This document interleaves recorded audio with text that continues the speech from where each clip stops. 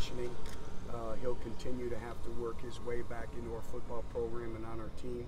Uh, there's been no timetable set. Uh, he understands uh, the requirements that have been laid out in front of him, things that he has to accomplish. Uh, he did very well in the classroom last semester, uh, but it's a day by day process. Coach, what he's not hoping to learn.